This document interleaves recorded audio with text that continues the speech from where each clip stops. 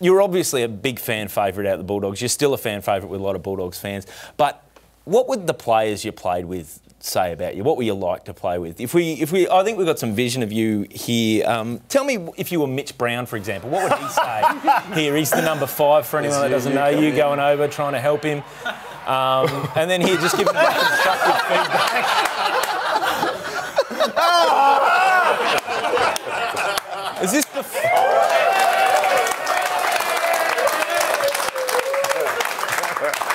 Is that before they made you captain or after? I think that was before. Before.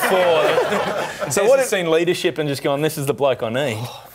what, what had he done? So you were trying to get him to hold on.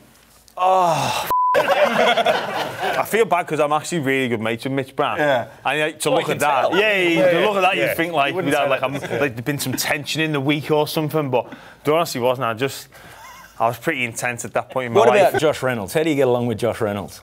Uh, really well, I think. Really Yeah, well? yeah. Oh, well, okay. no, yes, not, not, not really well. I think we, I do get along really well with him. Yeah, You do. Still definitely? good friends. Yeah. All right, let's have a look at this then. Look at that. Okay. Tyson. Tyson, what's his name? Okay. Yeah. I'm just saying, yeah, Okay. Anna. Head in. Thanks, James. Hold here. Hold here. Head in, boys. Josh. Hey, Got you in. Reynolds, you Hey, whoa, whoa, whoa, whoa, whoa.